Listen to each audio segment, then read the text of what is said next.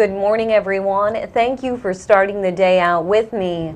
All right, here we are again. The holidays have arrived. The thought of it already being Thanksgiving time and Christmas less than a month away can mean many different things to people. For some, this is a joyous time. For others, it's a difficult time. Our TV happiness coach, MarBeth Dunn, has some great tips on ways that we can beat the blues. MarBeth, it's a pleasure to have you back with me this morning. Thank you. Happy to be here again with you, Jenna. MarBeth, as I just mentioned, the holidays can be a very difficult time for some people. It, it's not a joyous time. And I know you have some great tricks that can help those people beat the holiday blues. What are they? Number one is to redefine what the holiday means to you. You may feel obligated and overwhelmed by having to do preparing a whole huge holiday dinner and it doesn't feel right to you. So reevaluate what's going to feel good to you. It might be bringing in prepared food. It might be having a potluck. It might be going out to a restaurant for dinner. The important thing is that you feel good about it. And for example, my daughter throws a holiday party every year. Last year, she was feeling about halfway through the party like she was done with it. I said, honey, you don't have to do that this year. Let somebody else throw the party. Mm-hmm, mm-hmm. So we have those choices. It's like we we make ourselves do so much unneeded work. We make ourselves miserable. Well, we have a, a sense of tradition, mm-hmm. or this is how it's always been.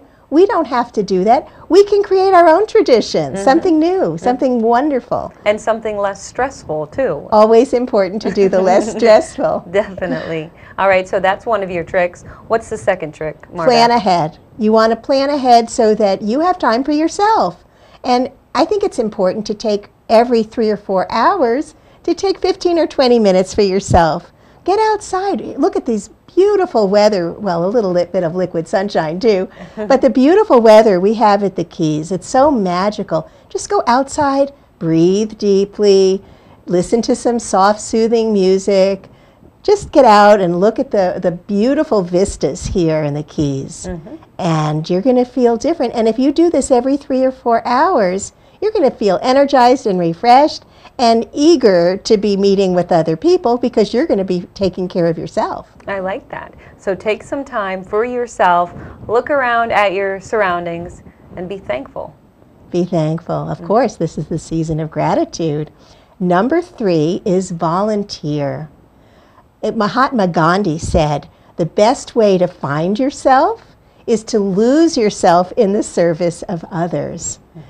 And what better time of year to volunteer if you have extra time to volunteer and serve a holiday meal at a homeless shelter? Mm-hmm. Or volunteer with an organization that's helping children, whether hospitalized children or underprivileged children, homeless people, or even animals. You know, there's so many different wonderful organizations that are here and it's impossible to feel stressed or depressed if you're serving others. That is so true, MarBeth, because when you can bring a smile to someone else's face and then you get to see that smile, you also can help but smile. And I feel like at that moment, too, all of your stresses, all your worries, they would just diminish. Well, studies have actually shown that when you are doing something nice for someone else, you go out of your way to do something for them, your serotonin level goes up and their serotonin level goes up.